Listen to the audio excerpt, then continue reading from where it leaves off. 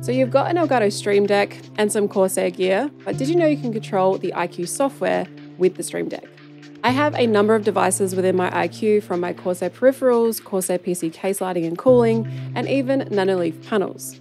In this video, I'm going to show you five awesome things you can do with a Stream Deck and iCue. Enable various lighting link effects. With the touch of a button, you'll be able to enable and disable lighting link effects. These are effects that will automatically apply across all of your devices that are active in iCue. It's super easy to select default lighting link options in the Stream Deck software, or you can even create your own. Switch profiles on the fly.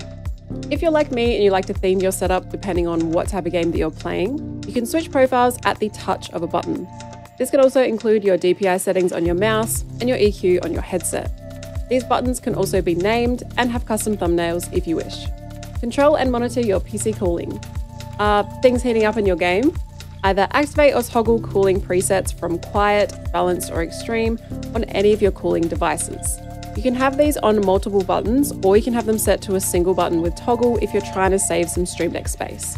You can also display and toggle your PC sensors to keep an eye on your temperatures. Display the battery status of your Corsair peripherals. No more guessing how much battery your headset has. With this button, you can see the current battery level of your devices per button, or you can have them cycling on a single button if you want to save some space. Activate murals. Murals are a super unique way to set up lighting for your devices. You can have reactive screen mirroring, set a static image or a video for your device to mirror in the lighting effects. You can move the devices around the mural to select various parts of the colour scheme, but please just be aware that some of these murals can be very flashy and intense, especially if you're connecting large arrays of Nanoleaf panels. If you don't have a physical Stream Deck but you want to take advantage of what we've talked about in this video, you can use Stream Deck on your phone and now thanks to the latest Stream Deck mobile update, there is native iPad support too. And just in case you don't know how to install plugins, let me quickly show you. You want to head to the Elgato Stream Deck store and search for the official iCue plugin.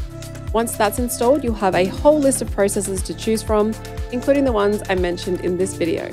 Thank you so much for watching. I'd love to know down in the comments below what you'll be putting on your Stream Deck. And if you want more streaming tips and tricks, make sure you hit that subscribe button.